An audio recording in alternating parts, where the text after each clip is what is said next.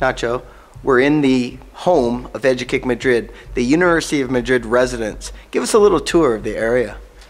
Okay, okay. Here we are in the residence. Apart from the 24/7 monitors that EduKick Madrid have, uh, the residence has its own private security. Here, as you can see on, on my background, they will be 24 hours here, and they will also be taking care of anything that happens. Here, the uh, residence at EduKick Madrid is, a student university, so there's quite a lot of facilities uh, for the people to study. We have two big study rooms, and there's also like around 15 smaller study rooms. It's just, uh, can we see this study room? Yeah, sure. This is one of the, of the big study rooms. Uh, Hmm. yeah, you know. Uh, Apart from all the study rooms, we have also some leisure facilities.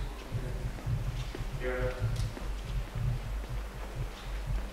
here is just a, a pool that is free to play, okay? All, all the facilities they have here is always free to use for, for all the people. They can always use, use the pool, use, use the gym, use the table tennis.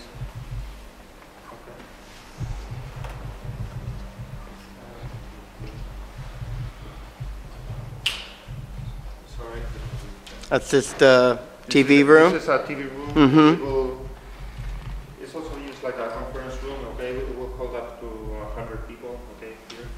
So.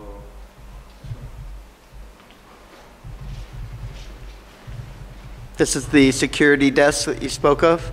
Yeah. Nacho? The security is there 24 7, correct? Yeah, yeah.